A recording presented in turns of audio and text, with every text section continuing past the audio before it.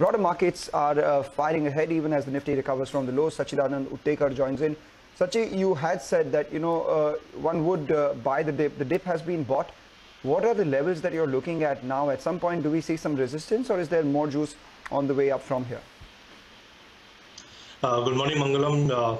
As you rightly said, you know, yesterday we were uh, expecting this particular dip, and uh, the level of around uh, 17,580 is uh, very important. It is the five-day exponential moving average, and so far for the last five trading sessions, we have seen uh, Nifty hovering above this particular average very well.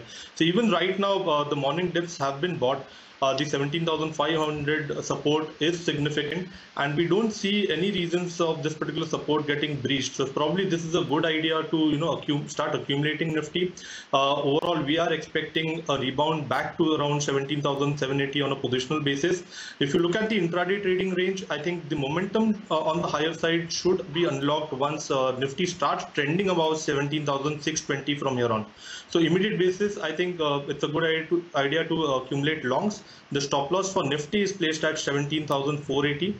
The first target for the intraday is around 16, 17,620.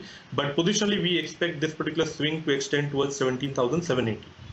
Okay, 17,700. Sachi, what about individual stocks? What's on your radar?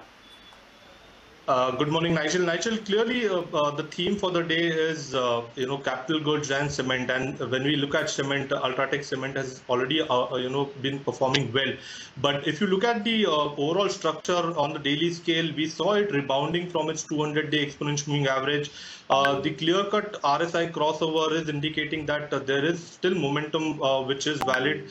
if you look at the 60 minutes data as well, we have observations of a broadening structure wherein uh, the upper end is placed somewhere close to 68 70 so quite a lot of headroom still available on ultratech cement. Still we recommend building fresh longs here. The stop loss for the trade should be placed at 66 60 and the intraday target is placed around 68.70. The second stock which has been on our radar is Crompton Greaves. Uh, if you look at the daily structure, there's a classic triangular formation. We have seen a fresh breakout from this particular formation. The pattern target is placed at around 440, but from a trading perspective, you can accumulate this particular counter for a target of around 425. The stop loss should be placed at 409.